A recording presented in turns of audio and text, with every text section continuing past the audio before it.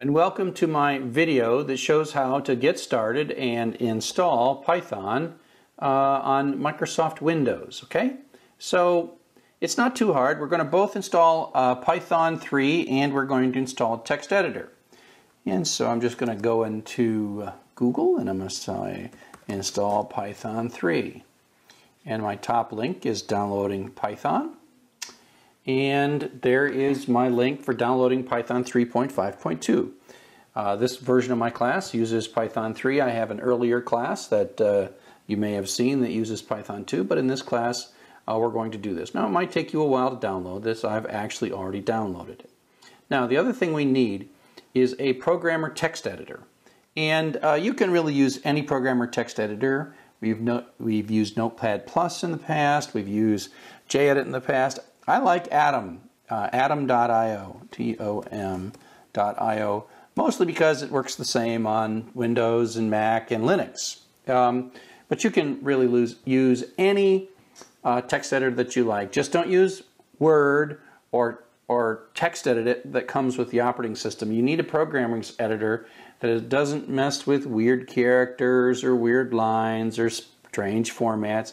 You must have a real programmer editor. So I'm going to down. I've already downloaded this as well, and so um, I won't waste the time waiting to download it. But let's go ahead and do the installation. So um, these things, these things ended up in my my downloads file. So I'll go to downloads and uh, I'll start installing Python 3.5.2. Now it's going to ask me some things.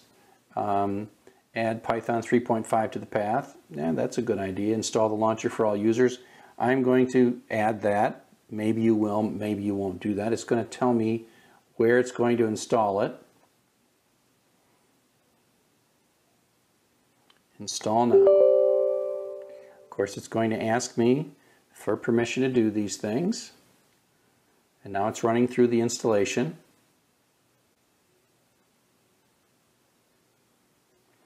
Okay, so there we go. You could maybe click on this online tutorial and documentation. Um, but uh, we're just going to close this. And um, I'm going to start and run the Windows command line. Now, you may have all kinds of fancy ways to run Python, but I like running the command line, C-O-M-M-A-N-D. I like running the command line because you it's after a while it's important to know what folder things are being run in. Um, and so here's this command line and I should be able to type Python here. And so now I'm in Python 3.2 and this is the chevron prompt here is the Python interpreter where it's asking for Python commands and I can say print. Hello world. Of course this is what we tend to print all the time. I can make a mistake. I can say, blah,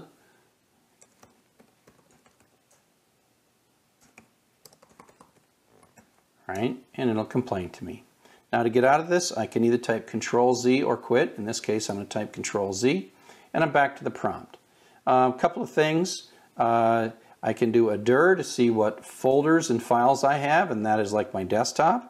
Um, and then the cd command uh, tells me where I'm at in the uh, folder. That means I'm in the users directory, uh, Dr. Chuck. Okay, so I have now installed Python. I ran the Python interpreter to verify it. I said print hello world. Okay, and so now what I'm going to do is I'm going to actually install Atom. I already had this downloaded, so let's go ahead and install Atom on my computer.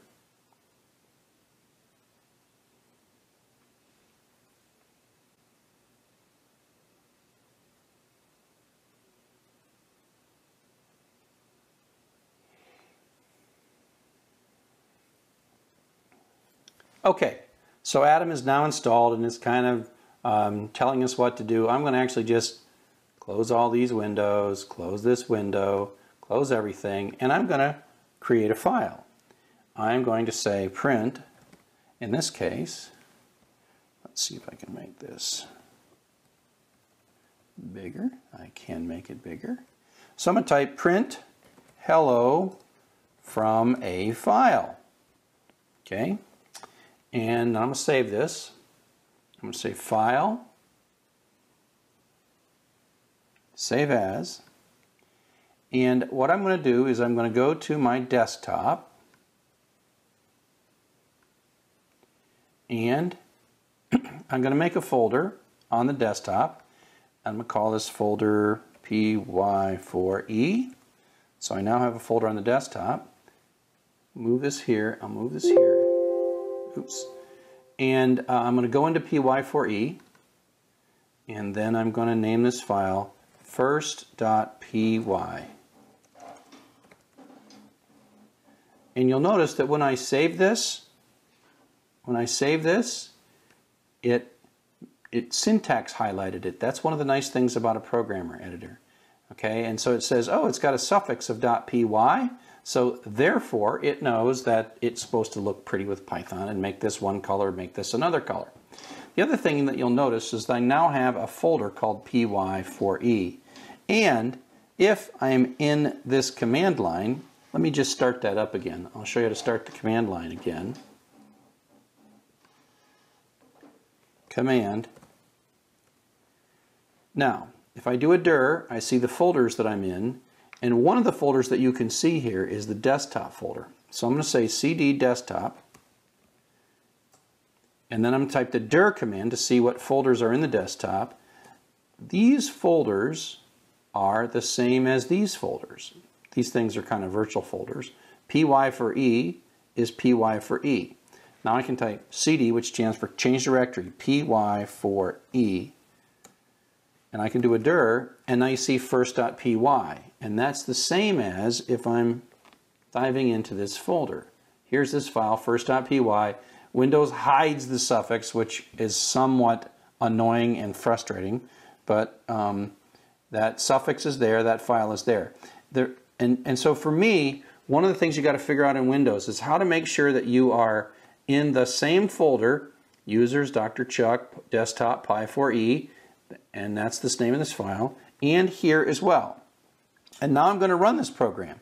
I'm going to type Python first.py. And you see that it ran the Python code. Okay? Another way you can do this is you can type first.py. And that's because this file association has happened in Windows. This doesn't work in Macintosh. This only works in Windows. That all files with .py are expected to be Python, and it knows the Python interpreter where to run it.